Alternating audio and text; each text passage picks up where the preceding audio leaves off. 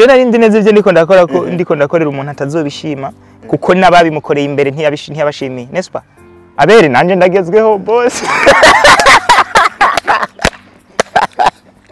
Kandi umusaza yarakubwiye. Aramburira nuko ntumva akakubwira tuzobibona reka renda yaboneka ndawote muze naranse kukumvira. Jewe warahemukiye aberi ndakubona n'amaso yanje. Message mana kazandika ngo ntiri bati reka ndakwereke aberi n'abafana batatu yarasigaye ndabamumareko ivyo navyo mwagiye mubona. Nta message wagiye ubona n'abafana aberi ntari down uno munsi uno munsi aberi aravugwa aya yaramukoreyeko eh kumbe umugambi wiwe yarawugeze yarawugezeko Mm. yaraje rero kuwurira ah je no no no no ugasanga nabuzi neza ko bamugiriye fresh. Ariko abita imbwa ijya modoka wayiguze ntitumuzi. Sibyo muri South Africa. Ntamwita imbwa ntiyamwita imbwa turi kumwe ngo ya mbwa ng- ngira ikirandondera ngi- ngisaba amafaranga yayo mana umuntu yakuguriye umudugu uri kurawugendamo Eh. je rero ibi nari ndavyiteguriye fani ntashima. Niwo mwanya rero ngo fanira vino tureke kubesha abantu kuri no social media sibyo tuvuge neza umuntu uwo ari we. Bisa nta yagiye avuga yagiye. abavyeyi baramwirukanye ibaze wowe kuba ukurinda wirukana umwana mu nzu wawe. Nk'ubu nka mika nkavuga nti ndakwirukanye. Uba wa aba Nyuma cyane. Ibyo rero ibi ni ibintu byoroshe cyane nshobora gukora. hanyuma niko kuja kwandikisha sosiyete turi kumwe kuko urabona barampa ariko barampa uri kwe. ndagashima warampaye kalifti igihe kinini sibyo? Mm, uramubaza aloro uzoca ukora iki muri academy? Mhm. yishuye agira ati nta na kimwe numva nshaka kubiheba. Urakoze. Kumbe. Urakoze. Kantu nibaza ko kari clear. Eh, eh, eh. numva nshaka kubiheba. Akazi na yo namuhaye muri Ngo nta akademi na kimwe ashaka gukora nta na numva kimwe ashaka gukora muri akademi ashaka kubiheba. Mm. ivyo yabibwiye nde? Directeur general. Oya, Cyangwa iwe ntiyabivuze muri iyo sansi Mm. kandi ahubwo azabankadire bige kuko nibamutora n'ikibazo. Bige bige. Abana benda bakunda by the way. Ya ya ya bajya babiri yemera. Ya. Eh, n'uwundi akirasoma oya ko kandi. Eh, ndabakunda pe pe. Mm. Abo yemera. Mwiyumvira je ko ndi kijuju ndi kijuju co kuza nka kuki ntavuze undi? Mm. rero se nanamuvuze kuri ivyo bintu vya freemason. Freemason sindanayemera Mm. ahubwo yari amaze iminsi afitiye urwanko rw'inzika rubi ruboze umugore wanje.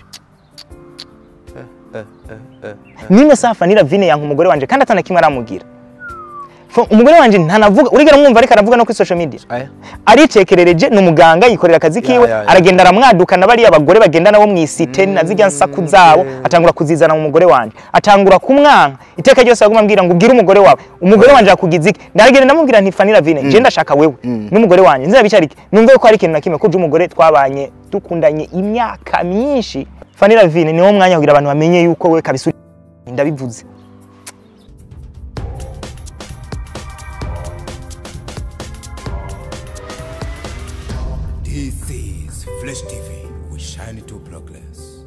Yellow, yellow, yellow, everyone, everybody, everywhere you are. Hope you are doing well. Guys, natwe ibintu n'ubuki, ibintu n'umunyenga turashima uwahabaye. Ino ni Fresh TV 257 dicaranye n'umwe mu bahungu baguhereza amasanamu tubona handi hantu. Na hamwe yitwa Irelita Zoe. Je nitwa Ndikuri Lawrence Desan, the son of God, Doctor of Love, aka Diko Nakira Nsolo Dehilo Iradukunda Libat, aka The Fighter Man. Ako kantu kaba karanagiye. akantu gashizeko si bibi? Eh. k'ubuzima n'urugamba? Eh, Eh, ko ubuzima ari urugamba? Ni urugamba turabyuka kare tutashaka kubyuka kare. Tucifitiye itiro Mm. ako tuba turi oblige kubyuka kare. Tukanyagirwa tutabishaka. Izuba rikaka tukinyegeza. Urumva ni urugamba tugenda dukwepana ibintu byinshi. Kugira ngo umuntu ashobore kubaho gute diko? Yabana je ni sawa ameze neza. Meze neza. Eh. Love. Imi- imitima urayisana. Tubandanya gusana imitima. Eh. utuntu two gusana nyene tunagezweho tu. Mm. tuba dufise twa twuma ngo tugenda tu- dusana iya- iyo abantu ba bamwe bamwe abandi basize baboma. Ariko ukuntu nawe ubasana. Eh, ndabasa- umenga sindakwizera cyane.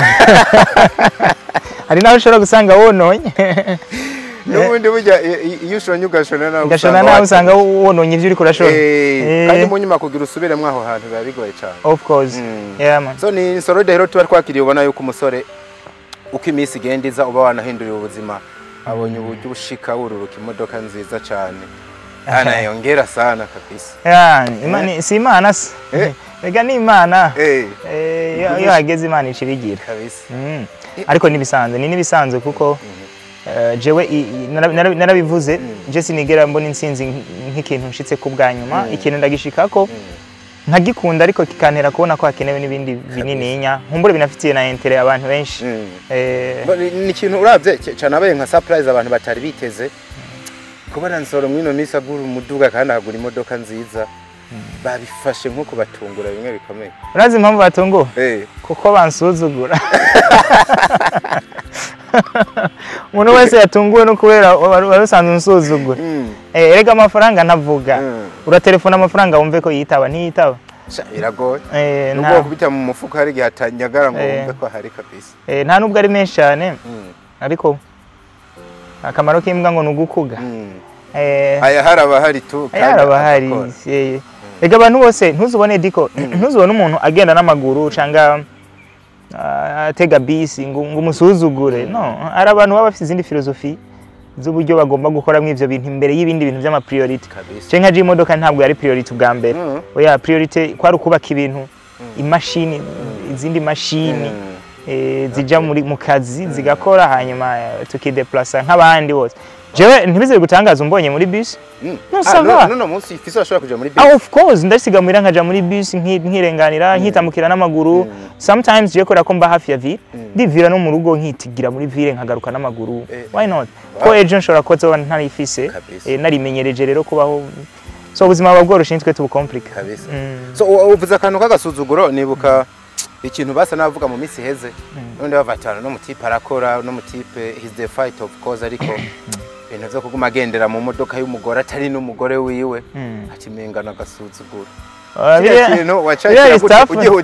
nta nubwo kari agasuzuguro man. None Eh. se je ko mfise permis. Eh. kuri permis ntibigeze banshiraho imodoka mbwiza gutwara.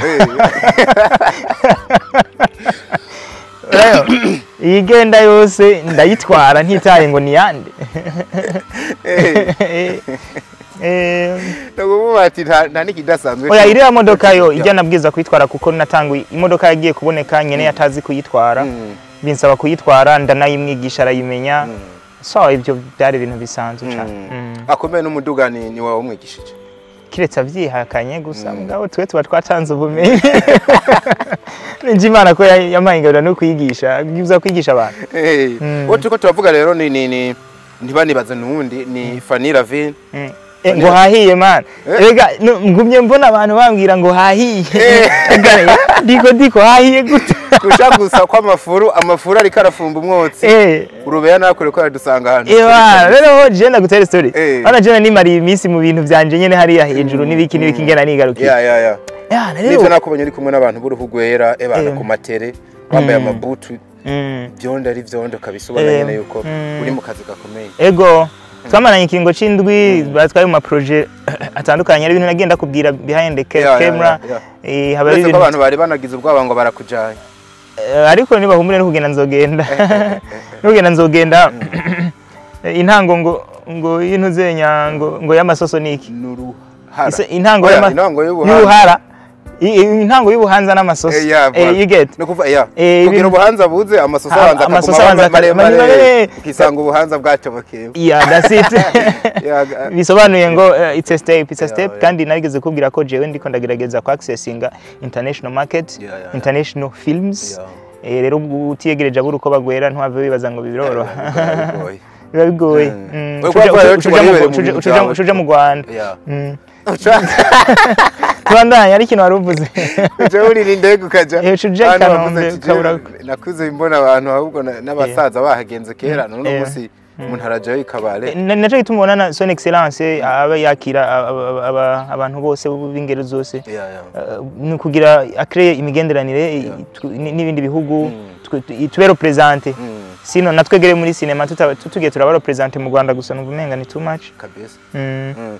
nariko ndavuga nariko ndavuga ati umuntu turiko turavuga utanguye unavuga yuko wakoreye neza Mm. umwigisha umuduga. Eh. niyo ya mbere natangiye kumva. Kariko ako kantu ni fake man. Ako sinda nagarura mu bintu nakoze. Eh, ntari ni bonus. Eh. Ari bonus. Nari nshinjira nerekana ko kumbure ikiganza cawe canke n'umutwe wawe ushobora kuba waragize ikintu kinini uterereye kugira ukora ineza y'umuntu kwatangiye tuvuga yitwa Fanny Ravine. Ari nawe ubona yamaze kwatsa umuriro. Kwe nkubaze ngo yawudometse ariko yanawudometse ma. tubandanye Na- yego. na- ndiko ndaraba comment hano hirya no hino uhereye kuri Silent Vibes TV hano yavugiye. Mm. ukaraba mu bafana banavuga ati kumbe soro ntitwari tuzi ko ari ukameze. Nubwo hari n'abandi nabanya bavuga bati Mm. umuntu ibintu avuga amarira n'iki tumaze no kubirambirwa Mm. so ndashaka twinjire kuno kuntu. Wa muntu kuko twagiye tunakora ibiganiro vikoze byinshi na wewe nawe nyine naramuzanye hano arisigura. Mm. Ah, wewe wanashaka urasa n'uvuga ati umuntu ntitukiri kumwe ariko biranatahuritse ntitwari kugumana je nagiye muri project zanje bivanye n'umuntu intumbero agiye afise. Ariko wowe yasa n'uvuga yuko hoba hari ibitagenda ariko agasigura yuko atari ngombwa ngo abivuge byose ko byagiye biragenda. Ariko uno munsi ni Fanny Ravine urabye yahagurutse Eh, abatanzania bavuga ngo amemwaga mboga. Eh. mwaga ugari aca zirya. Eh. iyo zimeneye Canke nawe uramena ubugari bihuriremo Ah, ah, Eh. je na ubugari bwanje seyo je wowe umena Eh. ah ubugari bw'imana. Je mba mba ngomba mfise n'ikibazo c'umuntu ashaka kumenera ubugari. Imana ari yibaserebye kabisa. Uribaza ikintu ugombye guhangana naco Mm. ushatse guhangana n'uwaserebye. Hangana n'imana rero niba ushaka kumenera ubugari. Eh. nze ndawe kutsinda. So wamaze kubona bino bintu biriko biravuga? Mm. Mm, ibintu navyo je numva abantu ivyo bavuga men je nta kiganiro nta biganiro ndaba. Mm, arabizi nawe nyine ko ataganiro ciwe noraba arabizi ko ndazi ego ivyo abagira avuge. Mm. most of the times ndazi ingingo ziba zikurikira. Niba ariko aragira nari narabimubariye. Yeah. ibi rero nayintegereje ubwo narindindiriye when azokwakitinga ryari azokina filime ryari kuri social media. Eh, iyo filime twari tuyirindira urazi zakinywe kwa bere Eh, Ah, ndabibona, kamone nari impari izi filime fanira vile twarazimenye. Saa Bi- twibandanira bivuze yuko nta n'ikintu kiri wajya gutangaza kuko unavyiteze. oya iho nta na kintu na kimwe kiyo kirantangaza. Mm. ubu ni fani rero uyu ni wewe. Eh, nzi Eh, uyu ni wewe nzi. Eh, ibi nari narabimubariye kuva kera. Bashitse arinjira n'indani. Mm. ko ndiko na- nje narinje kuguha by the way invitation man. Je nta nubwo narinje mu bintu bigize. Ah, eh, eh, eh, banza banza wakire invitation Eh, kwanza okay, thank you. Eh, wari uje kumpa invitation ariko bihura na bino bintu ndavuga ati ntabwo uri buncike uno munsi uko. Eh. Ire- eba ujejwe gutera igikumo kuri ivyo bintu. So wakira gute rero umuntu? Mm. wakoreye ineza nyinshi. N'isi ishobora kuba izi Mm. byagiye bibonekera amaso y'abantu. Uno munsi akaba ariko aravuga yuko uravye imvugo ariko arakoresha asa n'uvuga ko ata kintu wakoze ahubwo umwanya munini mwamaranye waramusambuye umutima kugeza igihe uno munsi umeze nk'ubumwema Eh, niba ari ariko bimeze. Na na je nari ndi ready man? Na- i know. Je nari ndi neza ivyo ndiko ndakora ko ndiko ndakorera umuntu atazobishima kuko n'ababimukoreye imbere ntiyabashimiye n'est-ce pas? Hariya uzotinya umuntu mwicarana ukaku- ukumva mumaranye umwaka ata muntu ashimira? Burya yoba ata muntu ashimira ata muntu akugiriye neza. Ahubwo ugasanga nawe uzi neza ko wamugiriye fresh. Ariko abita imbwa no, i- ijya modoka wayiguze ntitumuzi muri South Africa ntamwita imbwa ntiyamwita imbwa turi kumwe ngo ya mbwa ng- ngira ikirandondera ngi- ngisaba amafaranga yayo mana umuntu yakuguriye umudugu uri kurawugendamo Eh. je rero ibi nari ndavyiteguriye fani ntashima. Ibyo ako barabizi kantu k'imodoka nzoro ko ko abantu bazi ko ari wiwe yarayiguriye. Aya yaguzwe n'umuntu wo muri South Africa bagomba kugira mariage niwo mwanya rero ngo fanira vino tureke kubesha abantu kuri no social media sibyo? Tuvuge neza umuntu uwo ari we. Mm? yeah. jewe urabona jewe brother? Je sinataka Je urabona natatse umuntu Oh, yeah. eka reka. Jewe uranyataka nkaca nza nkagira contre attaque Mm, mm. eh, kandi hari n'igihe rimwe na rimwe rero twe nka twebwe twa- twaciye mu bintu byo kurwana hari igihe witaza ugakubita umugera umuntu akaba ari buca ubabara Eh. biba byavuye kuri blockage hari igihe witaza ugatera umugere nkaca nshiramwo inkokora. Eh. Turika kandi ucuja kuri social media ngo mwa mwa mwa Mm. kandi ari we wateye umugero ukavyibagira ko ari we wari watanguye gutera umugero Eh, ibyo rero ndabizi wategerezwa kubikora. Iyo utabikora ntiwari kuba uri fani iyo utabikora ntiwari kuba uri wa muntu nzi naturel wa vrai. Eh, ibi rero byagiye bikorerwa abantu benshi. Abere nanje ndagezweho boss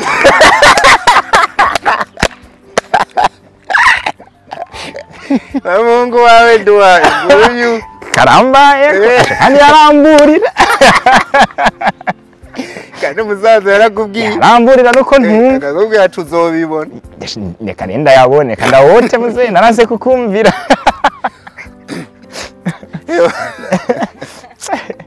Mani mu gutera imigere bazoze baraba ko ahantu bayiteye Mm. bari swiro Mm. hari igihe utera umugere ugaca uvunika.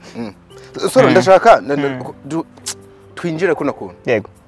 Ndahagarara ku bintu bibiri yavuze. Mm. harimo n'icyanshotse nanjye ubwanjye navuga ati kino kintu coba gikomeye koko. Nimba nsoro nzi nk'umusaza yaba yarubahutse arakora kino kintu. Reka duhure kuri du- dutangure kuri BFA cyangwa Burundi Film Academy avuga yuko wamwirukanye umufata nabi uramusuzugura witwanje ngo ni nkandagira bitabo. Okay Deko Mm. jewe urigera ubona umuntu nishima ko mvuga nk'iryo jambo. Hari ikibazo mbere nibaza. None Burundi Film Academy ntije mu mwaka wa 2020 Yeah. Uyu ni twatangiye gukora 2020 Mm. ugira ngo twatangiye gukorana ntabizi ko atizi habwa ako kantu. Eh? Ah, kumbure ko mu gutangira gukorana mwakorana ibibayabaye bihwanye n'amashuri afise. Mu No. nyuma muza kwinjira mu biremereye cyane ahubwo tuze "Uno tuze no muri gahunda nziza. afise." tuze muri gahunda nziza. Nawe nyene yakunze uno mutwe wanje. Ibi nyene uriko uravuga ngo nagusuzuguyemo nivyo ariko uraprofita iki gihe cose tumaze. Hari inoti mwabona mfise. Aya. Ubona ndi handsome nkamwe Vuga bayire ubona ndi handsome nk'abandi sivyo? Ndabayabaye sivyo? Uh, so jiki nari mfise bwari ubwonko amaproje je nizaniye amaproje yarayakunze kubera ko proje ya mbere nazanye yitwa PM yari iri mu congereza ni filime ndayibuka. yarakozwe irapfa kuko yayihaye undi muntu sivyo nzana divorce. Yitwa divorce twarayanditse turayigira guco ko nasanze atazi kwandika mu by'ukuri mu buryo buri professionnel. Ariko je je ndakunda guhe- gu- je bugiye ndonse birankuntu nkoze je sinshaka gukorana kenshi n'aba professionnel cyane Nda- ndaraba umuntu ashobora kuvamo ikintu je nkaguforma nkagushiramo ubundi bumenyi utabufise je sinigira nitanga umuntu nta bumenyi afise ahubwo nita kubumushiramo naco gituma umuntu ndi muri academy ndiko ndashiramo ubumenyi abandi bantu. hari abandi bantu baba professionnel hanze nozana tugakorana mu movies ariko nkeneye ba bantu ndagushiramo ikintu kugira nawe bize bigufashe so uh, nibaza ko nazanye ama projet nzana imitwe nzana ibintu byinshi man sinora bivuga sinoronka nigenda bivuga nga all the project kugeza n'igihe nazanye project umupfakazi arayitirira ngo ni yiwe ko je mba nibereye easy. Hajya Sivyo? umupfakazi ni, projet yawe. Original copyright. Kandi uzoze ngaha umunsi umwe azoze avuge ko atari tuze tube turi kumwe a- kandi ndashaka nimba yabidukundira ndashaka azavuga ingene. Kuko iyo proje ukuntu vyagenze? Ndiko ndaza ku bintu avuga ngo namusuzuguye n'iki ngo nazanye Burundi Film Academy whatever ngo ninganagira bitabo. Ivyo uvyiyise bi- bi- biboneka neza ko ufise complexe d'inferiorité hari ikintu bita complexe d'inferiorité ukiyagiriza ukumva umuntu umenga yagusuzuguye. Ah, nk'ubu ndiko ndivugira icongereza. Ndiko ndivugira icongereza n'abantu. Ugahita wumva umenga ndagusuzuguye kandi je nivugiye icongereza. We kubera katacuzi ugahita wumva umenga ngo ah bajya ukamwagiriza, Eh, ariko- ubwo uba wisuzuguye Ah, kandi okay. nca ndakubwira nti kuhaje ibandanye ntawe ushinja ni we wisuzuguye. Sibyo?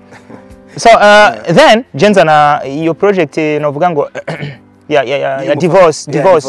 iranka yayihaye aba- abareaza- abareazateri bamwe bamwe ngaha birabananira so irapfa none havuga nti singi ibya filime ndabiranga ndabihevye. Ngira nidandarize shop urazi ko yidandariza ibintu vya guca aba bivuyemo ko amaze gutandukana na riva naho nyene. Ah, umugore gutandukana n'akantu kiwe Eh, Tukiyore. nabonye bariko barabatondesha sinzi Ni- mirongo miremire bisi zabutse Igitoro ya, ya, canze. ya, sinzi aho uzogera Eh. ariko gusa arakomeye Eh. ro Mhm. iyo proje iyo proje ndiko niki ndiwe kunwenza je ndarusha Eh, ni bwa mbere nkubonye uvuga uri serious wongera ucisha umutwenga iyi si iroroshe mpa- iragoye nta mpamvu yo kuyigoresha kabiri. Mm, saba ko tuyorosha n'abaza kwatsa imiriro twe tuza tuzimya Eh, urabitegera iyo proje imaze gupfa ni ho yahisha abivamwo arabivamwo je ndi nari nibera n'ingozi sinzi ukuntu na- je man je ndanka kunanirwa nkoze ikintu rimwe kabiri ni ho nashi ndamubwira ntuzi n'amakuru. Eh urabona izo proje ko nazizanye ukaziha abantu bazikora? This time. Reka je ndavyikorere mu ntoki. Ntagira umuntu afata kamera ntagira umuntu afata urupapuro. Byose ndavyikorere. Byose ubifata mu mino. Kandi ngira ndakuzanire project izokora nka seri. Nganga maseri ntayo noshobora. Ndabwira nti trust me. Ngira ndakugerageze. Wewe warufi ikintu yari afise yari afise channel ifise 9000 abone. Nabwira wewe kufise chano yeah, yeah. urafise platform. Reka ndakwereka ibintu dushanga ni wabona dukoze ukwezi ukaba utararonka 15000 y'ababone ngaha. Tuzoje duhagarika ino Kabisa. projet ngo none twakora projet imeze gute? Ti yitwa The Widow. The Widow mu congereza ni mu congereza mu kirundi n'umupfakazi iyo ni projet na zo nabwira nti rero tugira tu ngira ndakora ingene dukora ijya filime yapfuye tugira je ngira ndayizure. Mm. sivyo Mm. yari yanapfuye n'amajwi. Eh, burya amajwi bagenda kuri codingisha nkaraba ku munwa ibyo bavuze. Eh, nkimagine urazi kubona ivideo itavuga? Nkimagine nkwabwira nti vuga ibi. Vuga uku vuga uku ndabihuza urabibona? Igikorwa kinini. Kinini ndabihuza. Byose biravamwo. Dutanguye dukoze umupfakazi. Hit. Aca aremera niko kuva no mwa za shop ziwe. Yaciye aranguza imangazini dukore filime. ni byo. So, kiyagiye ntisubiye kuboneka muri muri oya oya dukore filime. Ntangura kuzana nkora filime. Ariko je ikosa nakoze si ikosa je ibintu byose nabikora nicishije bugufi. Sinashaka kugaragara ko ari je ndiko nakora ivyo bintu. So amarealization rero ni menshi. Ntabwo nigeze ndagusuzugura ahubwo nafashe narafashe ndamugira umu intellectuel. Eh? Filime ntiwari usigaye ubona harimo igifaransa. Eh, ni igifaransa eh? icyongereza english. sivyo Yeah, yeah. tugenda mu makontrakt. nta kontra nimwe yigeze asinya iri mu kirundi. Hari kontra hano bandika mu kirundi. Oya. wakeka ninde yaba yazisansuye izi kontra zose afise wakeka ninde yaba yazisansuye ninde yaba yazi yaza applyinze It's Sura me. navuga yuko na- na- na- na- nino ntuzi ariko kandi wata byose ngo ari we wawe it's me who applied. Ni je na conceive ivyo bitafu Okay. sivyo? Na, na publicity ya kandi water. Mm. iri official ni je nayikoze Hey. You get? Eh, man kumbo ba wibereye inyuma ari uri kuratunganya twiga tuba twibereye inyuma twambaye mask kujya kwa nsoro Yeah. eh hama abandi bakigira imbere bak- bakaba Eh. entre guillemets urabyumva je narakoze we ntiwakoze sinakoze 2022 narakoze au delà des orages Yeah, yeah. warayi nayikinyemo by the way Eh, ndi- ninde yari yari wabonye ari ndayireyariza yari wewe wa- warandika ukeditinga Nkeditinga, kimwe cyose. Buri kimwe cyose. Warambonye nduga stage gutora award. Nahise niyandikira kizina realisateur Fanny Ravine eh commentaire ngo Fanny Ravine n'umurealisateur wa mbere ngo turagukeje. Eh sawa? Eh. Award zarabonetse. Sivyo kandi je zarabonetse. ndabyishimiye bro. Je ndabyishimiye kuko je philosophy yanje kugira mbone je ko nzotera imbere. Mbanza guteza umuntu imbere nkabona birakunda. Eh. je uteye imbere je ndaguteje imbere. Mbanze ko nokuruta inshuro 10 ndavyikoreye ako kantu urakumva? Wewe niba nakurije fesicab Mm. je 2022 nakoze filime zitatu zose zaronse nomination. Zaronse n'ama award hariho umwansi ya sabasi yabaye ya kabiri. I- iyo odora des haje yabaye ya gatatu itwara t- prize itatu. Ya meilleure image meilleure interprétation féminine. Na uh, meilleure image oui. Na deuxième na troisième long métrage de l'année. Ah, award zitatu Yeah. nari n'umutipe w'ingozi nakoreye witwa um, uh, uh, igihemu. Nawe yitwa Deo Deo. Ingozi Ayo, nawe nyene yaronse award abo bantu bose baraduze kuri stage. Baraserebura mugabo fundi alikuwa nani? Ariko ni chini hapa. Na nimiye sivyo? Bagaca bagenda bakambara amakoti bakagira whatever. Sivyo? ubwo bwenge bwanje Fanny Ravine ni bwo bwatumye wurira irya stage. Nibwo bwatumye uronka zirya awards Eh, so je sinari ndi hano rero kugira nsuzugure umuntu. Sivyo? Namukoreye ibintu byinshi nkoresheje ibi nyene yita ngo naramuze. Eh na byinshi bro. Ariko no mu masaga yagiye arahaba menshi cyane. Wari umeze nka na- novuga ni nka antibare. Mm. umugwanirira hafi na hafi kugeza n'igihe Eh. wahaswe no kwinjira mu mabifu y'abantu. Ego. Bitari binategeka. Icyo mbere ndanakizane ko n'ahandi. Eh. fani ntitwohangana fani urazi neza ko ari je nagu- nagukingiye inshuro nyinshi. Umva yarakora amafuti aga- agahemukira abantu akagira ibintu. Mubwato kubera ko turakorana nkavuga nti reka ndamukingire ikibaba sinsarishe nkemera nkaja imbere. Ariko uranyumva woza reka guhangana na bodyguard ntibyokunze agasi basi bafuma rungi kundi mu bodyguard sibyo Eh, ariko we ariko bafana hagaze neza mane barakubwira ngo ari kumwe na runyuze arashona kubi. Eh. Kandi ngo rikaramusanasana bembe. Eh. Nibaza yuko bibaye ni ngombwa ko bibaye ngombwa ko munaterana n'ingomo sha runyuze ntiwamura kwa kwa muhungu? Oya. Eh. reka rero tuze kuri ako eh. Hari igitangaje. Urumva hari ikintu gitangaje kuba umuntu erega. Eh. uko twakuze niko tubayeho. sinagatahuye uko twakuze niko tubaho. Mm. Eh, sinibaza aba- abaye nk'ubu yo harura nk'abantu. Mm. bamaze ku- gukundana. Sinibaza ko rero nk'igitabo abyandikamo. Kuko eh, n'ibintu yahereye akiri umwana barabipfa n'abavyeyi baranamwirukana kubera utwo tuntu tw'uburaya nyene twi- ibyo- niwabyivugira ntibamwirukanye eh? De- hari ibintu bisa intahe yagiye avuga abavyeyi baramwirukanye ibaze wowe kuba ukurinda wirukana umwana mu nzu wawe. Nk'ubu nka mika nkavuga nti ndakwirukanye. Uba wa aba yaramarayinze cyane. Ibyo rero mba mbona ari ibintu bisanzwe. Ariko rero ntutujaniranye Mm. nimba yarakoze ico kintu nawe mwaragikoranye. Gute? Imisi mwagendana se agatoki ku kandi. Eh. ni na yo couple bavuga ati yigeze kubaho muri muri na industry ya movie. Kabisa. no kubaho. Ah okay reka rero eh, man no munsi numva ashaka gutwenga tu. Je no ashaka gutwenga cyangwa nk'ibyo mwakoze byitwa irindi zina nimba Je- byarabayeho je ndayobeye je ndayobeye moto Mm. je ndayobeye burya uko nambaye siko mbanza Eh, nuko nkanuye siko mbanza nuko mvuze siko mbanza jewe uko nsa kuba kuri nyuma y'ivyo mvuze cyane cyane iyo nshatse kugaragaza ibintu mu buryo buri public narako kubariye jewe simfa kugaragaza cyane character zanje. Character zanje ndazereka abantu babimerita sivyo jewe kuri social media nk'ifoto mba mbona tachivuze Eh. Kwifotoza? biriya bintu abantu bobo benterprete uko ushobora kuba ari maske wewe wari kura maske public. Sina ndiko ndamasika Mm. je nari ndi- mu kazi.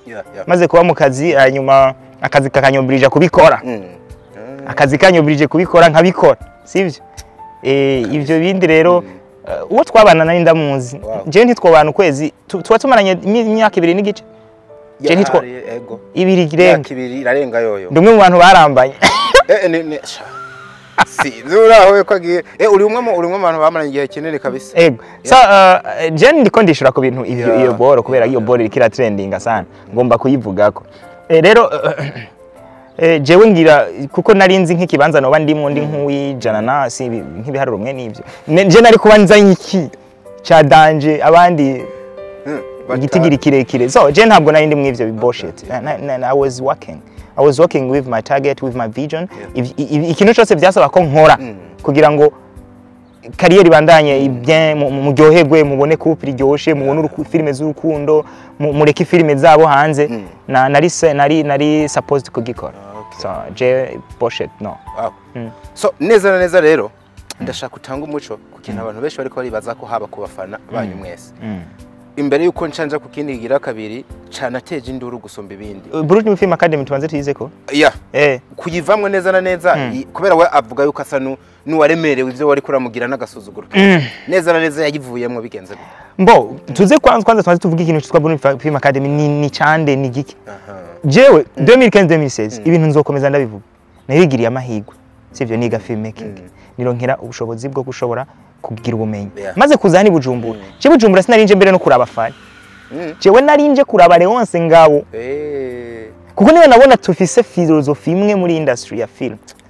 Sivyo? Mm. ndibuka ko n'umunsi tuja muri ntuze muri festival bwa mbere bagiye bo bajanye amafilime je narimwe najanye. Ndabwiye kuki utazanye filime no je nje kuraba uno mugabo. Umunsi wa mbere naramukije Leonce Ngabo nahise mbwira Fanny iti Fanny uzi n'amakuru. Je nshaka kumera nk'uno mugabo. Bibaye ngombwa ndamurute. Niko wamubwiye ko namubwiye iryo jambo ararizi. umeze nk'umuntu agiye gutata wirata jewe ibyo nakurikirana ndabizi. Mm. ariko biza kuba ngombwa kugira ngo nshobore guprovinga ico ndico byaransaba ko nkora. Kandi nkakorera abantu. Kuba ni bujumbura baransuzuguye nta muntu n'umwe. Umuntu wenyine ndakubwira yashobora kurokonesa. Yabonye talent yiwanje atabujyaye. Amede amede atabujyajya eh amede yarakubonye uramukoma kaza amede atabujyajya yarabibonye. Mugabo abandi bose baransuzuguye n'uwabibonye yaciye ashaka kubibyaza umusaruro. Eh ari bya- bizyaza umusaruro. Nanjye ndavuga nti reka ndabikwerekere ko bishoboka. Ndabikora. N'abandi bose je narakoranye n'abantu benshi bose ngenda ndabaha resultat iri positif. Eh, rero ibyo rero je nico cyakinzanye first of all. Hama Leonce Ngabo yatumye ankonekta ku bantu benshi bashobora kumpa ubundi bumenyi buri advanced. Je nama mu maformation ngaha ni- nama mu maformation hirya no hino. Nk'ama certificate mfise mu bintu bya cinematography. Mm, ni menshi ni nk'uko. Eh, eh, Eh, ndibuka ko je nkitangura gukora bino bintu nanamubarira nti je amafilime yanje amascript yanje je sindatangura kuyakora. Sindatangura kuyakora kubera ko byaransaba abakinyi bari professionnel bafise formation. Abo bakinyi rero ntabari bahari. Yeah. so i said okay ngomba guforma abantu. Na prayinga uh, ishure ryo muri Canada muri Vancouver. Eh. Ryo kuja kwigira filmmaking nashaka kuja kuja ku- ku- ku- kwispecializa muri. Ha- ryari 2022 2022 rero nari namaze kumubwira Fanny je mugabo burya rero mwarigeze kubona igihe umupfakazi yigeze guhagarara yego hari harigeze guhera igihe umupfakazi kiriya gihe nagomba kugenda itariki ira Eh. Ah. kiriya kintu nagomba kugenda Mm. hanyuma bica birapfa ku kanyuma bacambwira ati wihangane Mm. ibintu byawe bizo- bizosubira gukunda pendant après deux ans. Ah deux ans ndavuga nti non deux ans. Mm. okay bi- biri bugende gute. Niho naciye mvuga nti rero reka nshinge iyi academy. Je academy objectif urazi yari ihari. Mm. ko kugira ngo nshobore kuronka abantu bashobora kwakitinga mu mafilime yanje nk'uko nshaka. Ah, okay. bari muri ya bari forme bari mu nzira yanje. Mm. naco gituma je nkeneye igitigiri kinini nya c'abantu baza. Nkeneye abantu baza bari devuwe kugira ngo nikorere izindi project nkeneye gukora. okay. Urabitegera Ah, ni ho naciye mvuga nti rero so sinshobora kurindira imyaka ibiri ata bintu byanjye ndiko ndakora mu buryo buri pro. Ndavuga nti reka nshinge rino shure mbe ndabaha ubumenyi bushoboka ntangure. Rero ariko kubera ko eh, nibuza n'ikiyumvira nakimubwiye ntiyacumva. Eh, kuko ibi bintu byo kwigisha bisaba ubundi bumenyi bro. Iyo atabwufise ntiwoja guhesha abantu. Ntiwoja gwenda abantu. Rero je narabiravye ndamusi ndamubwiriza umugambi abanza reka kuwumva banza reka kuwumva. Mu nyuma ndavuga nti okay I'm setting. Ngira ndabikora. Wewe wumva umenga yo ribati ibi bintu na byo tuzoshobora nambwira nti maze kubaka n'ibirenze ibi. Ibi ni ibintu byoroshe cyane nshobora gukora. hanyuma niko kuja kwandikisha sosiyete turi kumwe kuko urabona barampa ariko barampa uri kwe. ndagashima warampaye kalifti igihe kinini sibyo. ndagenda tugiye kuvyandikisha rero. Hose nari nkimusigurira ataravyumva. Nambwiye nti ariko uko biri kose ibi bintu nawe birashobora kuzobwira akamaro. Kabisa. ntuzoburamwo ibintu ukoramwo. Kandi turi abako- turi abakorege nofopa ko nkora ikintu ndi jenyene Nkagusiga eh, nkagusiga inyuma. no ifite tugikorane. Aravyu asa nk'uvyumvise. Tugiye kwandikisha sosiyete. Urazi sosiyete ntushobora kuyandika uri umwe. Oya. ntiwiyandikisha ura kuri umwe. Upfa mwiyandikisha ko muri babiri ejo ukazobihindura kuko ndabivuga nawe nyene yarabigize. Yandikisha yarashize ko aruvera Eh, eh yarashize ko aruvera nk'umwasosiye Eh. hanyuma mu nyuma mbwa yaraje aramukurako. Ariko kuba yashize ko aruvera ntibyasigura ko sosiyete yari aruvera bayisangiye. Mm, twari nanje ibyo nakoze byari the same. Kuba naramushize ko ntibyasigura ko tuyisangiye. Eh, oyaye. Kugeza igihe umunomye akaba akaba directrice. None nomination mbi carico Eh? iyo- unomye umuntu- nko guha amabanga umuntu. Urayamuha nomination. Rege yarari mu bintu atanumva kwanza nomination. Nomination. Nk'ubu perezida ashatse ubunyene yonoma minisitiri ubunyene Yeah. atana nta na diplome depose muhariritse ageti iradukunda libere je te nomme. Premier minister. Ministère de la, de culture de la jeunesse sport. Abanshizeho nta n'ibindi bintu? Nta n'uza kumuvuguruza jere narinde president muri akademi nari mfise droit zo kunoma no kwirukana umukozi wese. Muri akademi ivyo yabitegeye ariko je naramunomye. Maze kumunoma ndamuha na credit nininya cyane ndamugira directrice. Kandi ariko mu vy'ukuri yari nomination Yeah, yeah. kuko nari ndabizi neza ko uyu mugambi ntanguye nije nzowukora n'ubundi nari nzi ko ari je nzosiga kukocinga nije nategeza ku- kumenya kazoza n'imigambi na programme havuye iki ndabimuha arabikora tanguye kubikora amafaranga arahembwa nta problem hanyuma rero ikintu caje kugorana mu nyuma abantu kenshi barakunda kurengwa Eh. eh, kurengwa Mm. gutangura kwibagira ko ndi directeur general Eh, eh, eh. kari jewe nyene umushinga Mm. ugaca utangura rukazana ikintu citwa agasuzuguro Ah, we- uryagaho ikintu caje kubyica byose okay. n'agasuzuguro n'akagayo n'ubushirasoni yazanye muri muri yazanye umva ashaka tubigire nka bya za za za- association zabo zo muri zo mu ikariti Mm. hahana umuntu wese azavuga umuntu wese aba hano haba hariho uyoboye. Amategeko arahari ukora akazi uku utanga raporo uku ugera uku. Rero mu nyuma haje kuza ikintu kimeze nk'uko c'agasuzuguro Mm. no kwibagira no kutamenya ibyo urimo. Eh, rero eh, ndabisobanure neza. Ndabihuze. Hari ibintu byinshi nagenda nihanganira? Ibintu byinshi nagiye nihanganira kenshi cyane eh, ujya munsi tugira graduation ya mbere ni ho we ya mwijoro naramwandikiye. Mm. naramwandikiye man ndamwandikira ndamu ndamubwira cyo ku bintu byose mba ndabifise hano mba ndabifise ndamwipfuriza ndaguha message ndamubwira ndakubwira message ndakwereka message twandikiraniye what is it? Eh. Ah, mwa- mwandikiranira privately eh, yego twandikiraniye eh, umva. Reka ndakwereke uca ubyisomera jewe? Okay. sishaka kuvuga ibintu by'amajambo. Soma ino byiza. discussion. iyo umuntu avuga ikintu aka- Soma iyo je nkoresha fact nta Eh, handitse ngo hamanagira mfate umwanya. Uwo ni je nanditse? Ah, uwo ni wewe voilà.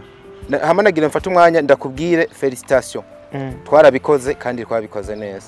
Ndagushimire de ta part tu as été efficace et utile pendant tout le, pa- le parcours très qu'on fait pour notre société Burundi Film Academy. May God bless you from that and lead us to the top of His will on on us. Mm. Yeah, amen. Sha- Ni, ni, ni, ni wewe ni we wayanditse. Ah, ah. Mbandanye. Inyishu yishuye Yagize inyishu? Yarungitse emoji. Ah, twanariza ako kantu nanditse texte ndende Aha. nishuwe akantu kameze uko nk'abantu bazi ubwenge bandanye ibyo yaciye ambwira Mhm. Aca aca avuga ngo can I ask? Mhm, Uca urambwira yap ask. mhm, Ya aca arabaza ya komite ya academy uzoyitora ryari? mhm, Nawe waragarutse urishura ngo sindabona abizigigwa cyane.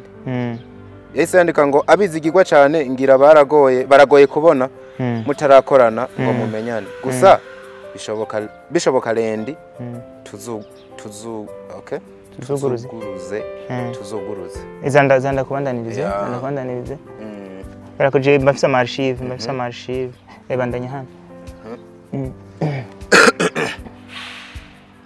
Okay. Gusa bishoboka rendi nari ngeze hahandi gusa bishoboka rendi tuzuguruze ya konte kugira tuzobahe nimero yayo maridi abariho. ba- abariko baraza abariho baza abariho baza baza- bararihira. Jesse nzosubira gutoza amafaranga kandi untahure. Acongeragira kaka emoji. Mm, ucuramubaza. Aloro uzoca ukora iki muri academy? Mhm. yishu yagira ati nta na kimwe numva nshaka kubiheba. Urakoze. Eh, kumbe. Urakoze. Ako kantu nibaza ko kari clear? Eh, eh, eh. numva nshaka kubiheba. Akazi na yo namuhaye muri Ngo nta na kimwe ashaka gukora numva kimwe ashaka gukora kubiheba. muri ashaka kubiheba. Ivyo yabibwiye nde? Directeur general. Hmm? sivyo araho turavugana ivy'akazi Eh, ntabwo yari liberty eh. yabwiye. Ah, tu- tukiri ngaho. Ko bisa nuko menga ni we yiyomoye ahubwo ni we yikuyemo. Ubundi nivyo ashaka gusobanura neza. Eh. nakubwiye ko hari igihe ukubita umugere akaba ari bubabara yaraje arikura mu bintu atangura kumbwira ko ashaka kubivamo. Aho sinari yajishije naciye ndeka. Mm. naciye ndamusanga muhira ndamubaza "Ey, kweri ko ushaka kugira ibi n'ibi? N'ibi aransigurira tatatatatata numva iki niki niki niki ndagerageza ndamuha kansoringa ibi bintu yabona ko nari ndabizi ko no mu ntango Mm. ariko sinamenye impamvu sinamenye impamvu. Ko sinari njejwe no kumenya impamvu okay. z- z'abakozi ba, sosiyete Mm, mm. oya Mm. so ntazimbwiye ndazi kwa je ntuzimbwire nta kwensista Yeah, yeah, yeah. ipi alors mu nyuma ni ho eh, yatanguye kuza ara- aratangura kudatonda ku kazi. Uno munsi ntiyatonze. Abo muri promotion ya kabiri babizi yarigeze kuba atanatonze. Flip chat ngura nshasha ndamutelefona nsanga ntiyitavye kandi nari napanze n'akandi gaka- kazi tuza gukora. Kajanye n'ivya academy nyene ku mugoroba andi project twari dufise tuza gukora ntiyatonda. Nja kumuraba muhira ndamubaza kuki utatonze? Nta mwana nari mfise. Kuki utitavye telefone ngo bimbwire ntiyanyishuye ndamubwira nti none project twategereza gukorana bimeze bite. Ndavuga nti je ndiruhiye rero ndarushe nashaka menye ikibazo waba wagize. Reka ze tugende mu gitondo turabe ko twabifundikira kuri tele. Tugiye kuri tele ibintu birapfa. Nivyo ndamubwira nti twari batatu nari kumwe n'umukameramani ndamubwira nti ibi bintu yamara bipfuye kubera ko ejo utatonze ku kazi. Yambwiye mu kirundi cumvikana nako mu gifaransa ati libert sindi oblige gutonda ku kazi. Ntonda nshaka. Kandi ari amabanga yategerezwa gutondera. Uwo babwira uramuzi directeur general Directeur general. deje De- ayayayayaya ndabiraba Eh. n'umugore wanje aranyubaha twambikanye impeta yamvyariye umwana aranyubaha wewe unsuzugure ari je nakunomye ku kazi nahise nandika ikete ndashaka urisome waranditse n'ikete mike kumbe bya bintu byawe bi- biri official nta bintu na vy'amajambo bihari diko ngendana utuntu nk'utu ikintu cyose nkoze je kiba canditse niwenduka nanuka uzosanga vyanditse hano. Mm, itariki zinizi warantutse kabisa. Je nahise mpamvu kuko iyi nta academy je nagutinya. niyo mpamvu nagutinya bavuga ati mwana wanje uze wige. Mm, ashobora kuba yarabonye kwiga aho byakugejeje. Cyangwa iwe ntiyabivuze muri iyo sansi Mm. kandi ahubwo azabankadire bige kuko nibamutora n'ikibazo. Bige bige.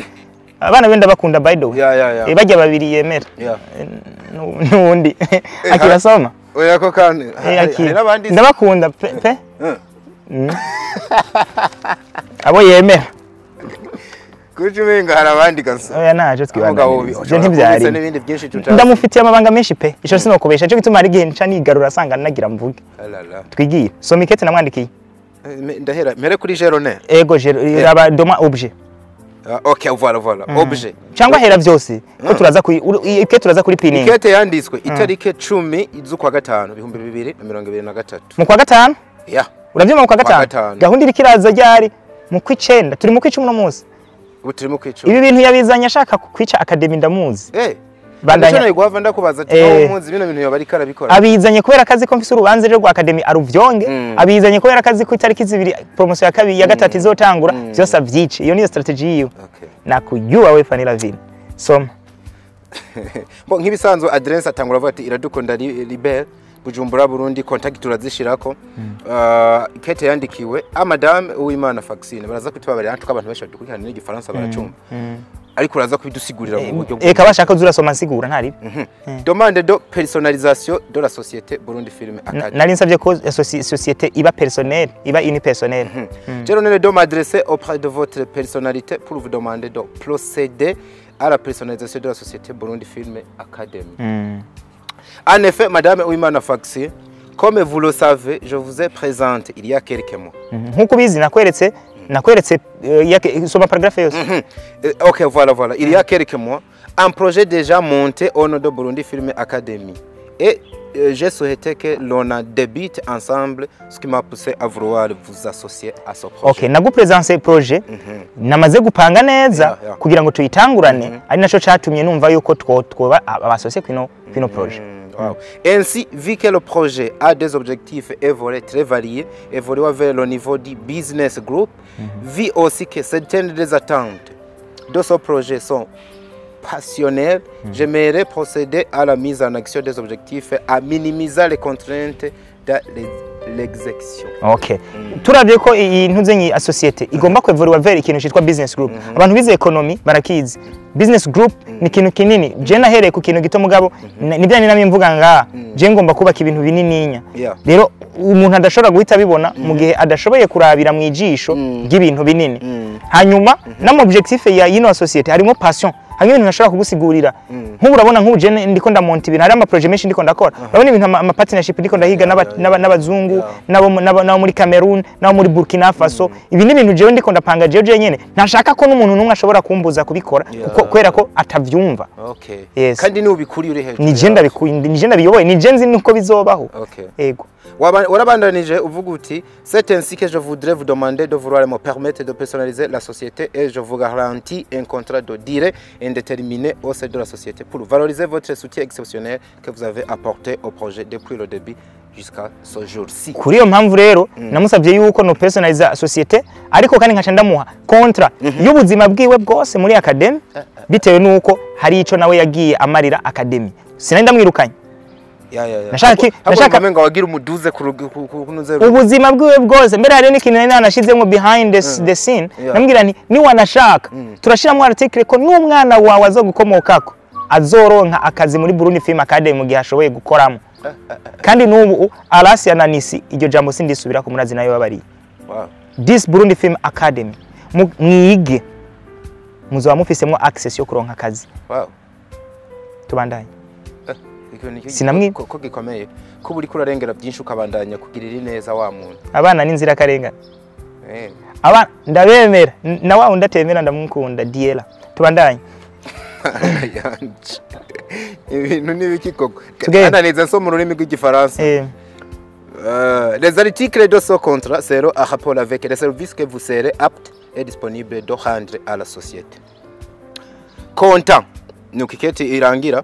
Si votre habituelle bonne compréhension. Je vous prie de bien vouloir agréer madame Wimana Faxine l'expression de mes désirs très distingués urabyumva Mm. ndamubwiye ko nshaka gupersonaliza ibintu ndamuhaye contrat indetermine kubera kandi ibi bintu byose byatumwe n'agasuzuguro ariko aranyereka n'amajambo ariko arambwira ndi directeur general kandi no mu projet ari iwanje.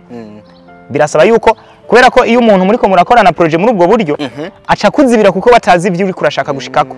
Akaguma azana mind zo muri quartier Okay. kandi je ndi muri mind. Z'ahandi hantu. Sibyo rero ivyo birabaye. Ndamuhaye ikete. Kuko jewe uwo twabana nari ndamuzi diko nta kintu na kimwe kintungura kuri fani Mm.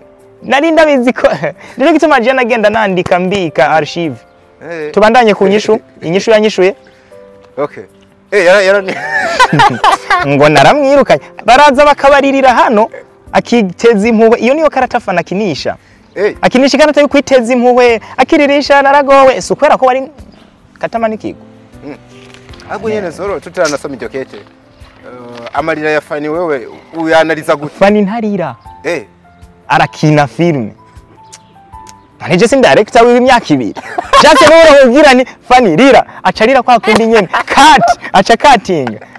Kumbe wagiye unaya directinga mwangu none bro hariyo na yo twadirectinze kwa benisho arira ngo aberi niki. Uravyibuka nari nibereye nk'uko mbona umuntu ariko ararira ndavuga ni filime zirakimwe koko. Eh. ariko icyo kintu Fanny na Vina wari kuranyigisha nahise mbona neza ko nanje azozinkiniriza none ngo waragiye sayire na ntibireba ntibireba je ndi mu munezero ndiko ndishurwa n'imana. Ibi bintu nari ndabizi ko bizoba ahubwo je nzova mu muprofete. Mix kandi n'umuzi. kandi kwakoze kuvuga yuko hari ibintu Ego. ibintu eh nabwiye Mix nti Stevie Mix yaratubajije ngo wowe na Fanny mutandukanye nimukore bezi mubesha abantu ko mwatandukanye Fanaranga ndamubwira nti nanje sinokwemera gukora bezi ashambwira ati none Liberty wewe uriyumvisha Fanny mwatandukanye ibintu bizaba bimeze naje ndamubwira nti ndabizi. Fana zongwanya twari turi kumwe na Fanny mu modoka. Nari n'umukobwa yamariye Kimana Ange sinzi. Sinzi ujya sinzi ko ari we. Ange official. Twari kumwe mu modoka. Abo Eh. n'abatemwe nabwiye ni Fanny Ravina azoca yiyunga n'abantu bo muri quartier bace baza kungwanya. Ariko je sinzigira ndamugwanya. Ibyo bintu narabivuze iryo jambo nararivuze none ririko riraba uno munsi. Kuko yarigeze kubitangaza. Arabi- ndabigusobanurira niwo mwanya kugira ngo Fanny bamenye yuko ari umuntu mubi. Sana tutigeze tubona muri industry y'u Burundi. Mbwira umuntu Fanny yateje imbere muri film. Uri mufi Mm. Oya umwe sindagusabye Ah, babiri umuntu we yateje yateje yateje imbere. Umuntu avuga nti iyo hataba Fanny Mm. Fanny ndamukesha kariyeri yanje ninde Sha, ntawe nzi. Ahubwo amakuru mfise ni- niyo uko nabo bagi bagerageza gukorana abonye hari ahantu ugira ugere. Aca gushira hasi. Gushira hasi. Urabona imigera ariko aratera? Arashaka kubita ikupe ariko nzoro naho yari twibandanirize Eh, agati kateretswe n'imana urazi imana yankuwe. So tuze rero ku nyishu yampaye. Eh, ah, yaranyishuye gose jewe uranyandikira kubera ko tuba turi mu bintu biri kabisa. Eh, uranyandikira. Ntituvugana ngo twarumvikanye. Ah ah turandika Ibintu makete by'amajambo kwirigara gusa ca soma musasa. Mm. igihugu birasaba ko kimenya ukuri kwano marira y'umuntu aza kubesha abantu hano. Imyaka yose. Ntibibaho. Eh, atangura perezida nk'ubusanzwe gusa. Ya- ya- yahise yishura itariki yindi yari yanditswe ryari? ijya itariki um, zitanu nimba ndavyibuka Eh, kuri- non on était à mai oui oui oui. Yego, mu kwa gatanu. je namwandikiye mu kwa gatanu Eh. nawe anyishura irabiza itariki ntaco yishuye itariki mirongo itatu z'ukwa gatanu nyene Mhm, enfin, voilà Mhm. c'est bien. Objet. Eh, réaction à votre lettre di ah yabishize Eh, gusa. yari inyishu yagomba kwishura Okay, ku di ku 10 mai tiketi 2023 Eh, twumvikane Mm. barashobora kwibaza ngo Fanny Ravine none eh, ni we yanditse iryo kete? Oui? Eh, ni we afash- afatanyije? N'undi muntu. Yabimufashije ku byari- ah yafatikanije undi muntu Eh. ariko mukete nta birimo kandi uwo muntu nini cabona kwa bino bintu hitwa Theopiste ah numu numu numu numu magistrate okay sibyo kurabona n'inyandiko za kona ngaho gusanga ari inyandiko y- y'umuntu yize amategeko Mm. mm. okay tubandanye Ok. Ya, ya, ya, etangwa bati, Monsieur le Président, je donne de m'adresser auprès de votre haute personnalité pour donner mon avis à propos de votre demande. Mm, Eh, inyishu Yeah, yeah. Mm. Monsieur le Président, c'est avec un grand regret Mm. que je saisis cette occasion pour vous présenter mon avis. Mm. Ni- wihangane sinakwemera ni nk'uko kwenyeka katanyemereye ibyo namusabye Yeah, yeah. ahubwo agira agire nawe ico avuze Ah, Mm. En effet, Monsieur le Président, permettez-moi de vous renvoyer à la lecture profonde du statut qui nous régit dès le début de la société et de faire une analyse très profonde sur les règlements qui y contiennent, lesquels nous nous sommes convenus de respecter avant le commencement du projet. Mais voilà, vous optez la voie de changer notre vision. okay nagira yandungitse kuja kuraba. Um, yandungitse kuja kuraba. Ibyo statu zari zari zi- zari zitugenga bya bindi twari twarandikishije muri yapi? Arambwira nti birasaba donc ndabirabe noneho mpisemwo ko ibintu bihinduka Yeah. aha Ah, yeah. Euh, vous Ok, voilà. Alors, moi, je ne peux pas être une entrave à tes désirs. sinshobora kukubera intambamye ku byo wifuza Ah, ok. C'est pourquoi je préfère quitter la société moyennant le paiement des services publicitaires rendus à la société. Sans oublier le soutien tant moral que matériel apporté à la dite société, ce qui a influencé dans la croissance de cette société. ni naco gituma mpisemwo kuva muri sosiyete ako kantu bakamarike Ish- ego, Liberty sinigeze. hano navuze ngo c'est pourquoi c'est pourquoi je c'est ok c'est pourquoi je préfère quitter la Quitter. société Mm. moyennant le paiement des services publicitaires rendus à la société. Harajemo n'ibintu by'amafaranga. enda turabandanya Mm. nico gituma mpisemwo kuva muri sosiyete ariko mumpaye mundishe Ah, ibintu bi- bi- bi- bijyanye n'amapibisi nakoreye ya sosiyete bijyanye ni- n'inama noba naragiye utuntu n'utundi nagiye nterera muri sosiyete. Eh, yashatse abaguhe Eh. fagitire byose mu eh ampe fagitire y'ibintu amaze gukorera sosiyete. Ariko ndakwibutse ko yahembwa. Yajya muri sosiyete yarahembwe yarahembwa. Ariko wowe Ntagenda- asa n'usigura ko mwe mwarafatanye no no no no no, no proje yanyu yarahembwaga. Eh. kandi twahembwa yangana. Ushima rero jewe mba ndi n'umwana mwiza. Eh, Eh, generale eh, anganya twaranganya uragitegera abantu ntibashima. Urabyumva Mm, naho uwo diko mm. wewe ntaguciye umuntu wewe ataguciye uwo mutwe Mhm. ntuzigera wumva abantu bagushimira kabisa. Kukiriyo ni ho bazogushimira ihe ndabira. Ndamuhaye contrat de durée ya. akasuzuguro ni kose Mm. ngo noneho ngo ubu ngo nce ndamuriha kandi yagiye ararihwa yararihwa. Tugaturonka n'amafaranga angana. We wajejwe gutanga resi gusa agatora amafaranga. Je nirirwa mpagaze amasaha ane ku munsi ndiko ndigisha abantu nja kuri tele nyo nyobora amafilme mpanga mu mutwe gahunda ingene ziza kugenda ubuzima mpiga ama partnership hirya no hino tukanganya amafaranga. We ari kuhaseruka gusa. Eh, gusa. Mm, byonyene. Mm. Amahera angana gute igitigi ntiyakivuze Ira- jaba Alors, vous devez me donner. Ah, ya. Ah, ya, ya. Ah. Alors, vous devez me donner une somme de rikavuga. 2 millions de francs burundais Mm. à, à, récompense, à récompense de tout ce que j'ai fait par la bonne marche de la Burundi Film Academy. Mhm. utegeza kumpa rero imiliyoni zibiri Eh, z'amafaranga y'amarundi eh, ziyongera kuri bya bindi wari kuravuga wagiye umuntu. Eh, ziyongera kwa ya matrofe yama award ziyongera kwa ya maviews mwagiye mubona ziyongera kwa za cover zose mwagiye mubona ndamukorera ziyongera ku bintu byose namukoreye akeneye ni miliyoni zibiri. Nta no kuvuga merci ahubwo akeneye n'ayandi mafaranga. Eh, Eh, yarangije ikete avuga ngo souhaitant bonne réception je vous prie d'agréer la silence de ma considération ma considération considération la plus distingue igikumu cashyizweko na vaccine. W'imana aha bari kumwe. Ndakubwira ko hariho n'icabona yitwa Theopiste Eh, ibi bintu twabikora tufise icabona kandi ajejwe ibintu by'amategeko. Cyabona canyu yo navyemeza n'uno yego cyane Mm, ndarivuze kugira batanagira ngo ni ibintu biri falsifiye nuko rero umuvyeyi w'abana ansabye miliyoni zibiri jewe nahise mpamagara abantu nizeye. Uwo Theopiste nyene n'uwitwa Jedeo ndavuga nti tugira akanama. Uyu muntu ashobora kuba atatahuye ivyo nshaka gukora jewe. Ndamusigura sinshatse kukwirukana. Ahubwo ndashaka wewe ukore kuko iyi academy izoba ikintu ya. hazobamwo n'ivyo udashoboye. Umubwira uko. Eh, hazobamwo n'ivyo adashoboye na jewe ntashoboye.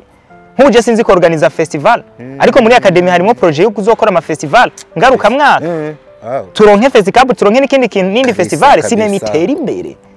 Ibyo bintu bizozamwo abandi bantu baza kubikora tubaha akazi. Ndamubwira nti rero wewe mbwa ku byo uzoba ushoboye gukora nivyo uzohembegwa. Mm. urabyumva? Ariko byose wumva ikintu caje kubizana ni we yatanguye avuga ngo ashaka kubiheba acakurikiza agasuzuguro ndamwandikira ikete. Twayasomye ndabagirisha inama ara- baramusigurira amusigurira birangira twumvikanye ko ibintu tugiye kubikora. Mu nyuma caranana ngoya ngo nampe miliyoni zibiri je niyigira ndaguhereza urwandiko rwa nyuma. Nyakubahwa diko eh waba uvuga ko wemeye nawe nyene urayariha eh akira muze. Turasoma hano nta bintu by'amajambo ko bikaze Mm. uno munsi birasaba ko abantu bamenya fanira vine ninde. Ikete aba- ababizi ku mwidondoro n'ubundi ni iradukunda libere umwidondoro wawe wose ariko ikiba gikenewe hano cyane ni itarike zine zo kwa gatandatu. Umwaka uracereho undi ni ibihumbi bibiri na mirongo ibiri na gatatu. Bino bintu biriko biranaba vuba objet agrément à la demande de votre lettre d'itrahime turiko turumva ko ari gahunda mu kwa gatandatu à madame Ok. Uwimana Faxi Mm. ni mu kwa gatandatu Mm. J'ai l'honneur de m'adresser auprès de votre personnalité pour agréer à votre demande. En effet, madame Ouimana Faxine, comme vous, vous avez opté de quitter la société de votre propre gré, je ne peux pas vous empêcher et j'accepte le paiement de 2 millions que vous avez demandé comme récompense mm. de tout ce que vous avez fait pour la société sans négociation. jewe Libert ndakwemereye. Kuguha ayo mafaranga wansavye. Atana negociation sinanadindije je Libert ngo tudindize kuko mu by'ukuri nta kintu na kimwe yansabiye amafaranga muri akademi twajanye y'imitwe gusa sibyo muri akademi ga nta butunzi buriyo. Ahubwo ndatanga flip chat flip chat guri ibihumbi cumi na bitanu. kaboshe ku bwenge. Mm? Uratewe nyuma y'iminsi ngaho urishuye wishyuye miliyoni zibiri kugira uvane n'umuntu. ko twabana neza. asuzugura yibaza ngo "Ay, yaza ngo warayandusha tubandanye uravyumva umviriza zari miliyoni zibiri yansabye Mm. mu by'ukuri mvuze ngo wanashaka sosiyete tuyi kwa kundi uvuga ngo tuyi tugire session Yeah. tuyihagarike Mm. nta twese nta kintu mwe twari kujana kuko jewe ngiye kwigisha njana ubwonko Yeah, yeah, yeah, yeah. nawe aje wewe murundi yari afise n'ibikoresho akoresha. Ikaramu n'amaresi. We ntibyamusaba ubwonko bwinshi. Barishaya a Mm. ndakwandikiye ejo. Mugaje byansaba kwirirwa kuri google. Ndiko Yeah, ndapdating yeah, ubwonko bwanje. nirirwa guca mfata mu manote byo nize kugira nze gutanga ubumenyi. Sivyo ibintu byose nyuma banyisabiye demiriye ahise ndamwemerera demiriye Ainsi, je, souhaite, je souhaiterais que vous puissiez me permettre de personnaliser la société pour la bonne marche des activités et le rapport des opérations qui étaient en cours. Mm. Espérant bonne réception, je vous prie à bien vouloir agréer Madame Ouimana Faxi, expression de ma considération très distincte. Fait à Bujumbura par le président de Burundi Film Academy, Iradukunda Libe, Basi. we yashizeho n'umukono. basi Mm. subiza Mm. nuko Eh, eh, birabaye eh, sivyo mm. birabaye Mm. Ibyakurikiye ngaho umaze kwemera iki kintu. Hakurikiye ibitutsi ntuvuga. Eh, yatutse wewe? Mm, ntubona ko ndamwemereye ibyo ashaka byose. Mm. Imino zibiri sinazemeye. Ndakwe- ndakwereke text hano Ca- canke ribat tukiri ngaho. Yoba yagusabye ayo mafaranga yibaza ko atawuza kuronka kugira unanigwe. Nimba warayarishe ugakurikirwa nararishe nca ntangura no gutukwa rero. Ibitutsi byo byantutse abo muri akademi barabizi. Anabishatse. Ndaza gufata ama message yose ndayaposting. Sivyo fani birasaba ko wakumenya kuri umuntu mubi kabisa. Birasaba ko wakumenya byarigema nibaza fani ni umuntu burya? Umuntu atazi kuvuga merci. Umuntu ushobora gukorera ibintu imyaka ibiri agakomeza n'ubundi akigusaba ngo mpa amahera. Juraza amaserivisi naba narakoreye. Ijya- kampani yiwe ya turafa menshi diko ari ibintu byinshi nakoze. Ngiye ku mwaka amafaranga yompa nk'imiliyoni nk'ijana ariko n'ubundi ndacakeneye zibiri. Nahise nawe ndamusuzugura atakira. Niba ushaka gishaka amafaranga ndabona kuri ikijuju utari kurabona je ivyo nshaka kubona. Akira inoti ni witwarira nsahura wigira inoti ankurikiza ibitutsi rero. Anshatse nozana izindi hano. Reka mbe ndabitse ibanga. Next time ukora indi move ca dukora ko hano. Mani yaranagututse inbox arantuka bikomeye. We gahunda yari afise kwari gusambura iki sosiyete yashaka gusambura akademi mu nyuma mu nyuma rero ngaya amasezerano yasome soma amasezerano yo guhana ayo mafaranga turayasoma. Eh, ni itariki icenda z'ukwa gatandatu. Amasezerano yo guheza kuriha. Jewe uwimana vaccine ndemeye ko iradukunda libere ahejeje kumpa amafaranga. Nasabye mu ikete ryo ku itariki ah, ita- za- ryari igerekerezo rya mirongo itatu ah, ni rusama z'ukwa gatanu. Ah, angana n'imiliyoni zibiri z'amarundi. No mu buzitizo yabishize ko aravyemeza. Nta deni risigaye. Jewe uwimana vaccine ndavyemeje aca arasinya. Jewe libere iradukunda ndavyemeje. Icabona yari teopiste nyene? Ryabona teopiste ntiduhejeje? Nguyu rero fani wanyu. Nguyu fani wanyu aragiye aravuze ngo naramwirukanye. Aranabaririye aranarize. Mm. sibyo? Yamarira. Ibi bintu nari ndamizi neza ko azobikora kuko fana ukuntu ateye. Ntaba ashaka yuko we mutandukana ngo ugume uhagaze. Aba ashaka mutandukana aca guhamba rero ni handi nabwira ni fanira vine wateye umugere. Ahantu hakomeye. Eh, ahantu hakomeye wa- wa- wakubise ku nkokora. Narandika. Byose archive narabika ko nari ndabizi neza ko atari umuntu mwiza. Jewe warahemukiye aberi ndakubona n'amaso yanje. Message mana akazandika ngo ntiribati reka ndakwereke aberi n'abafana batatu yari asigaye ndabamumareko ibyo na byo mwagiye mubona. Nta message wagiye ubona. N'abafana. Aberi ntari down uno munsi. Uno munsi aberi aravuga aya. Yaramukoreyeko. E, kumbe umugambi wiwe yarawugeze yarawugezeko. Mm. yaraje rero kuwurira. Ah je no no no no tubandanye hari ibindi yavuze nigiye so Libert unkunde duhereze kwa kino kintu. Aya musore ntuze kwifata nko gukora mu gisebe. Ariko nimba byaravuzwe reka tubivuge. Aravuga ati naratabaguwe narafashwe nabi kugeza igihe. Libert abura umwana wiwe nkamwagirizwa ko noba afise amangetengete y'uburozi cyangwa no mu Freemason ari je ndamuhekuye ntumye abura ikibondo ciwe. Ati narababaye. Ah, anishura amera nk'utunguru akavuga ati Mm. warambabaje mu buzima. Reka ndamubwira ubugabo bwose tukuzi ko nka wewe n'uburyo ndakuzi byaba byarashize kwagiriza umuntu urupfu. Reka mbanze ndakubaza Mm. kwagiriza umuntu ni bibi mu gihe hoho dufate ko ndanabimwagirije Mm. ndiko ndakubwira ko ntabimwagirije muri ubwo buryo yabivuze. Mhm. Eh? Mm, none nk'ubu. Mm, nk'umukameramani wawe nomwica mm. ziba bibujijwe kunyagiriza. Uramutse umwishe warenze ware- warenze umwica no ikibazo si ukwagiriza umuntu. Namwe nimwibaze ngo ese noba narabivuze ndi kijuju atacu ndabikuyeko? Fete attention. noba narahurudutse. Ndavuga ico kintu ata kintu ndagikuyeko. Ndahuru- nk'ubu ndahurutse. Kuko intahurudukiye kuri wewe? Ako kantu ariko kuko intahurudukiye ku bandi bantu bose ni- ni cyo dukorana? cyatumye abantu benshi kwiyumvira uravye no muri comment bavuga ati ariko nyabuna kuko uravye mu makomen- mu makomantire basa n'abantu babiri bariko baragwana. Mm. baravuga bati kino kintu nubwo coba kitari kijana kwijana Mm. Muraraba neza ribati ntiyari gupfa kwaduka ngo nimba yaranabimubwiye koko bamubwire ikintu nk'iki ata- atashingiro mwiyumvira je ko ndi kijuju ndi kijuju co kuza nka kuko intavuze undi? Mm, rero se naramuvuze kuri ivyo bintu vya freemason. Freemason sindanayemera mm. ahubwo yari amaze iminsi afitiye urwanko rw'inzika rubi ruboze umugore wanje. Eh, eh, eh. nino safa niravine yanka umugore wanje kandi atana kimwe aramugira Fo- umugore wanje ntanavuga urigera mwumva ariko aravuga no kuri social media. Aricekerereje ni umuganga yikorera akazi kiwe aragenda aramwadukana bariya abagore bagenda nabo mu isite na zirya nsaku zabo atangura kuzizana mu mugore wanje. Atangura kumwanka iteka ryose aguma ambwira ngo ubwire umugore wawe. Umugore wanje akugize iki? Ndagenda ndamubwira nti Fanny Ravine je ndashaka wewe. N'umugore wanje nzira bicarike numve ko hari ikintu na kimwe kuje umugore twabanye dukundanye imyaka myinshi. Ndamuzi nawe aranzi. Ndazi ikintu ashobora gukora n'icyo atokora. Ndamusaba ngo tubonane buri gihe yaranzi Mm. menya neza ko ariko aragerageza kwanka umugore wanje amufitiye urwanko. Ntazi iyo ruva.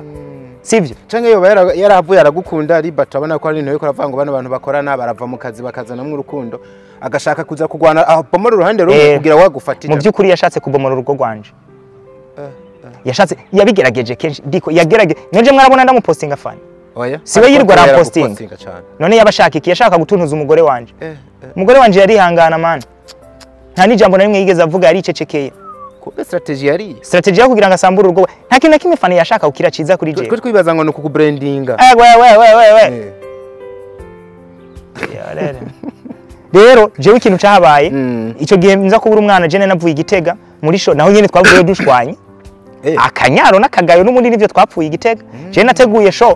Ndi- urabuze je mani uranzi kuri ya. je ndiruka. Eh, eh, ndiruka niriwe ntanariye umunsi wose. yicariye harya. Mm. dutegura show. Ntanga amatike. Ndayahereza mugenzi wiwe muco. Aja gutoza amatike. Ndamenya n'ingene je nza kugira ama security bose ndashiraho. Show ndayorganiza ndamugira umwamikazi. Sivyo ariyicariye nta na kimwe yibereye. Eh, hariya aza yamu- kuza gusa ku munsi ku munota wa nyuma mm. aza nyene ari imana.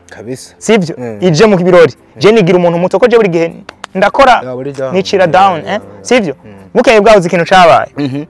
nabajije ati mbe none umva je nakoresheje aba security man. Nakoresheje abantu baza kudufasha security nabaze nti mbe none na yo ndushe sana ndambwira nti mbega birasaba ko tugira control kugira ngo turabe aba security ngene twabahemba ngo control twayejeje wewe nande wewe nande kari je natanze amatike nzi natanze amatika ya ngo twe ngo twayihejeje. Ndambwira none aba bantu ntituza kubariha ntituza kubaha n'ifanta nini na nini ngo ribe ngo niba rero ngo ushaka ngo kubigira big deal ngo niba utatwizeye ngo bandanye bikurikire umwana agasuzuguro mani niriwe ndakora wowe wicaye bukeye bwaho na yo majambo umbwiye zambwira nti fani gumya n'amafaranga. Je ndimanukiye naciye mpiga ba bantu baza gukora nagenda ab'igitega murabizi. Oh. abantu twakoranye igitega ndazi murabizi. Fani ahantu twari turi mu nama mwaramubonyeho siho yarari. Je ngenda ndafata abantu twakoranye ndashira mu gaciro k'abantu twakoranye igikorwa mfata amafaranga y'iwanje ndagenda ndabagurira ifana. Ndababwira nti mwakoze niko kwimanukira. Je maze kumanuka twese twaramanutse umuntu yasigaye igitega ninde? Mhm. mwamikazi Mhm. yasigaye igitega. Mhm. twe turamanuka. Bukeye mu gitondo mbura umwana. Mbaze kubura umwana nibereye kwa muganga mani mbabaye. Madamu wanje ariko ararira. Aca ndungikira message y'ibitutsi. Mbe kuki utamvugisha mbe kuki utambwira mbe uba wibaza mbe uba wibaza nca ndamutelefona maze afanira Alala. vino woba wibaza ibintu jewe ndimo mino sawa uriko urambwira ndakwereka umuntu yaciye anyandikira ampoza na deje twakirana muri film. Na deje ni we Ya, yaba ni we yampojeje arambwira nti Libert condoleance numvise. Fani nta na condoleance yigeze ambwira? Nawe warigeze ubona na postinga ngo Libert ndakwihanganishije? Reka reka. Iyo poste ntiyigeze ibaho nico gituma rero harageze igihe ariko arambwira nabi ihurira na yakwatase agutuka. Antuka. Kandi yamaze kumenya n'ivyabaye i don't know. Mbwira ni je mejere kubura umwana ubu nyene. Nta na pole. Ngo none turunajejo gute? My god. Eh, eh, mura- murafise abana beza. Fanny Lavine niwo mwanya kugira abantu bamenye yuko we kabisa ndabivuze. Kuko hari ibintu abantu batogira. Nubwo wowe ufise umutima ukomeye gute mubi gute. none je ndi mukiriyo ntibariko baraturuna je nari mukiriyo bariko baraturuna filme n'umwana wanje baramukura muri filme nanje barankura muri filme ivyo numvise hari umuntu yavuze ngo ngo naramusabye ikigongo je nta kigongo nitse ndagusaba ahubwo yafashe jewe yabonye ngiye mu kiriyo we yaharuye inyungu kagiye mu kuja mu kiriyo c'indwi yose je nzoba ndiko ndahomba turunaje jewe barankuyemwo muri filme barankuyemwo n'umwana wanje baramukuyemwo barayikora bayijanye kuri RTNB baca barayibatera baca barayanka kuri RTNB ni ho yaciye rero agaruka okay.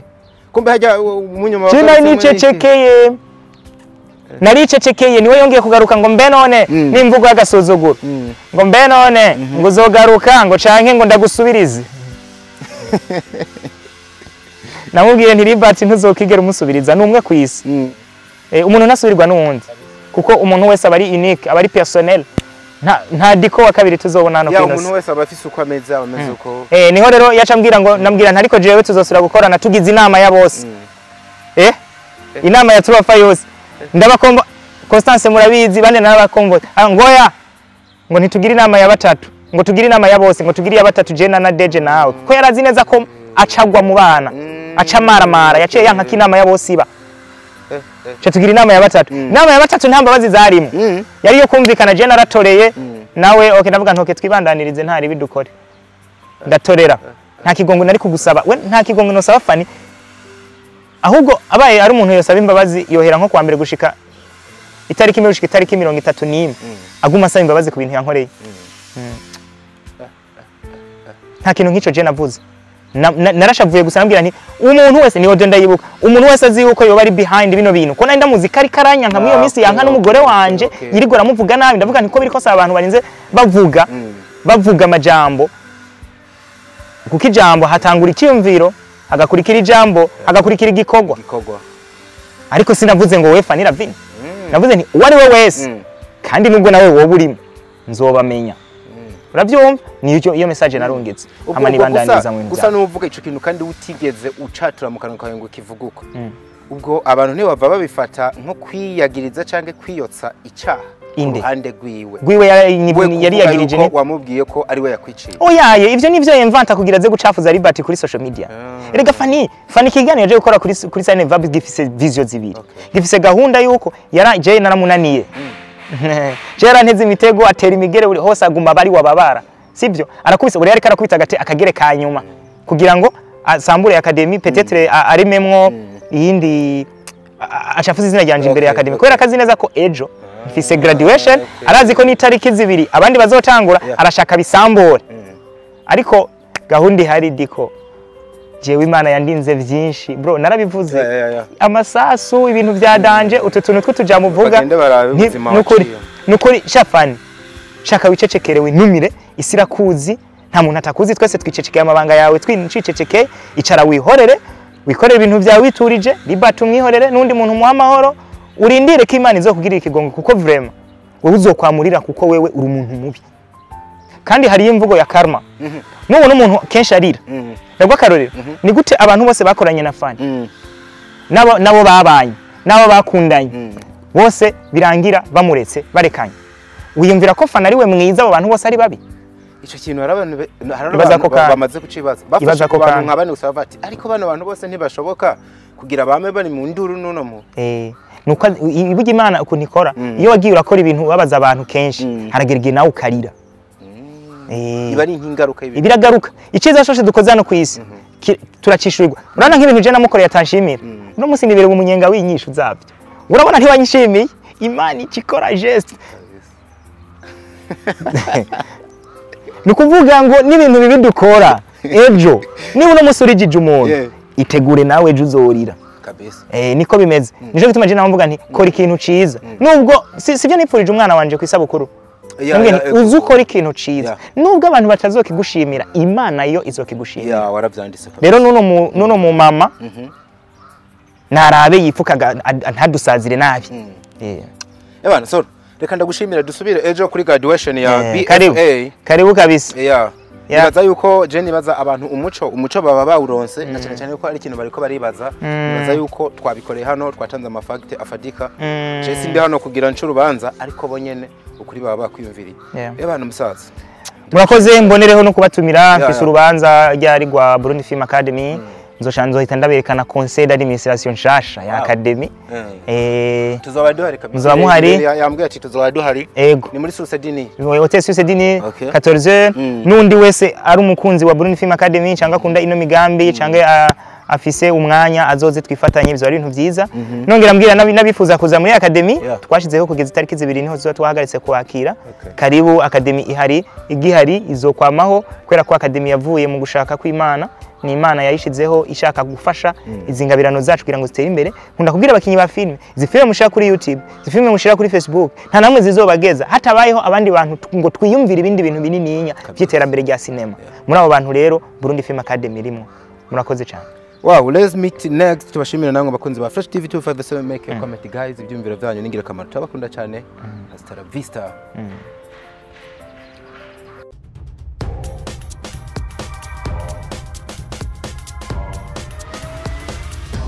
This is Flesh TV with Shiny 2 Progress.